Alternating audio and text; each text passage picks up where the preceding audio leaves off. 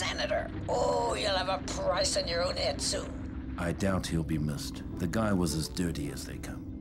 So what do you know about this Sebolto? Sebolto's a Dug King. Big figure in Malastare's underworld.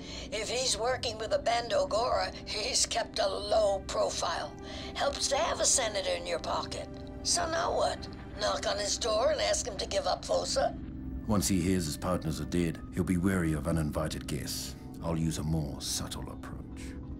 Well, I shouldn't mention this, but if you want an invitation, I did come across a bounty Sebolto himself posted.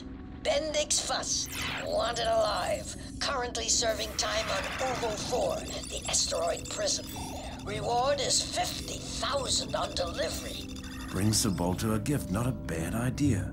What about competition? It's a hefty sum, but Jango, we are talking about a maximum security prison. Nobody in his right mind would try to break someone out of there. It's just another job, Ross. I'll slip in and out before they notice he's missing. Any sign of Montross? I checked around, heard he's in the Gazari system. A lucky break. That's nowhere near Malastare. Groff Haug must have lied to him. He was probably more afraid of the Bando Gora than he was of Montross.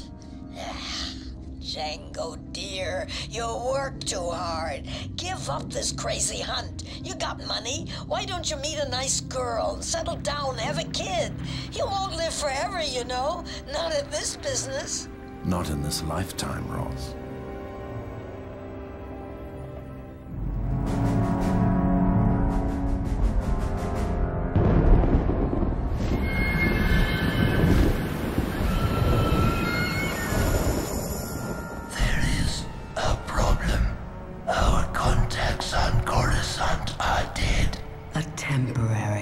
Temporary inconvenience. Smugglers and corrupt politicians are easily replaced. Our spies believe bounty hunters were responsible. It is of little concern. The location of this moon remains unknown to all but one of our underworld contacts. Nevertheless, we cannot allow any further disruptions. If these bounty hunters surface again, we will deal with them.